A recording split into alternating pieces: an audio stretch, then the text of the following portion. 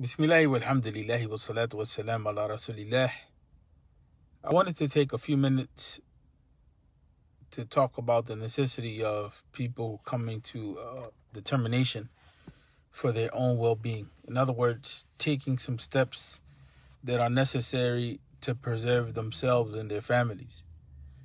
There is a position of the muhaddith Sheikh Ahmed Sheikh Shakir uh, in the book called Nizam al-Talaq.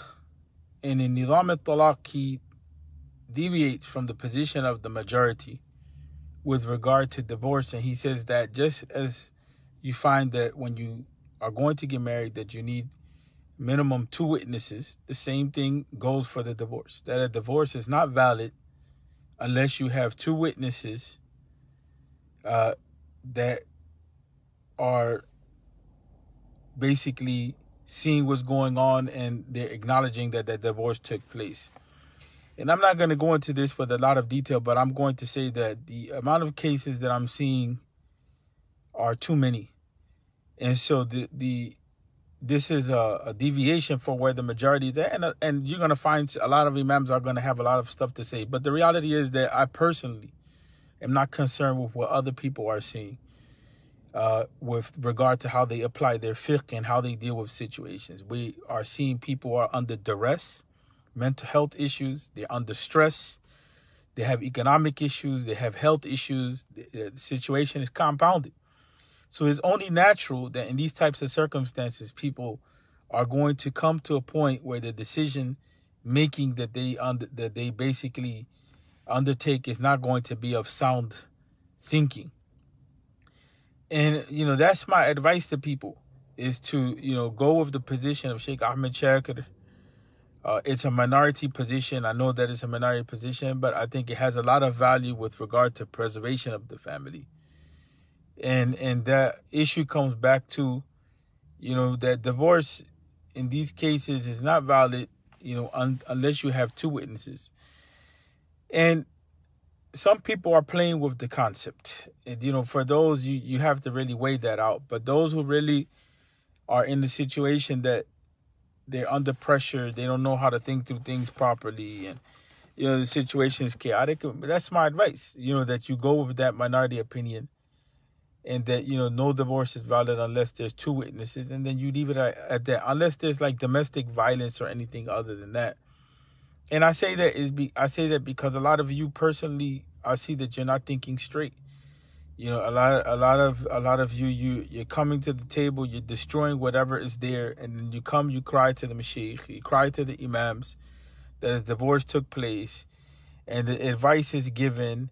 Uh, people don't want intervention. So as long as you're in that madness of a situation, you know that you need to get your heads on straight and you need to realize that if you destroy your families, nobody's going to help you in that situation except yourself. Nobody's going to sit there and walk with you through that process, you know, uh, step by step as you go through that suffering that you impose upon yourself. So, you know, you might as well take a position that's beneficial to you, you know, and, and until things become clear. And that's what I say that, you know, the position of Sheikh Ahmed Shakir is very valid under these circumstances.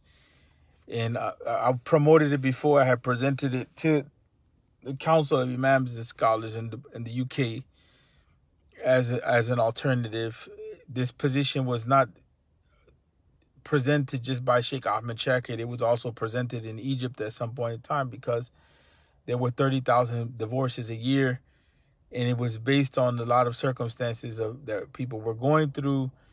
And so i say the same thing here you know that the opinion has some weight to it. It has some weight from the angle of preservation of the family. Now if there is domestic violence and other issues which come into play which really jeopardize safety and health and so on and so forth then i don't advise that position. But under the general circumstances where people are just not thinking straight and so on and so forth i think it's a very valid position and uh, that's my advice to people. You know, there, there is a lot of situations here in which people are going under hardship and duress, and it complicates the issues.